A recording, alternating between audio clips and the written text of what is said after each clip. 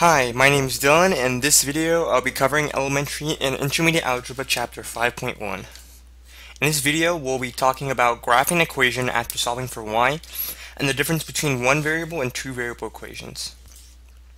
So, it's very difficult to graph an equation that's not in slope-intercept form.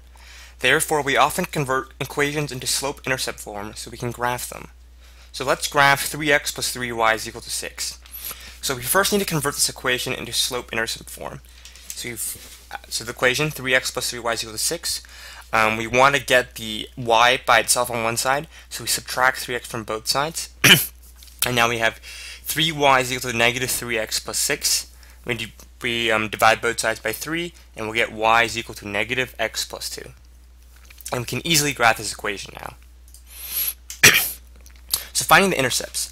Find the intercept of an equation, the y-intercept of an equation, plug in 0 for x and solve the resulting equation for y.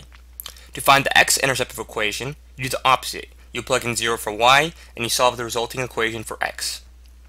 If we use the two intercepts and one more point on the line, we can use we can connect them to graph the equation without converting the equation to slope-intercept form.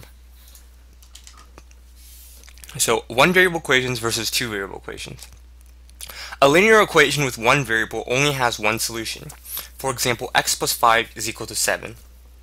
x has to equal 2, otherwise the equation isn't true. x can't equal 3, it can't equal 4, because the equation is not true otherwise. However, a linear equation with, a two variable, with two variables has an infinite amount of solutions. This is why it's a line. This is why the graph is a line. So if I can plug in 0 for x and I'll get 5 for y, or I can plug in 100 for x and I get 105 for y, and I can keep plugging in x values and I'll get a different y value.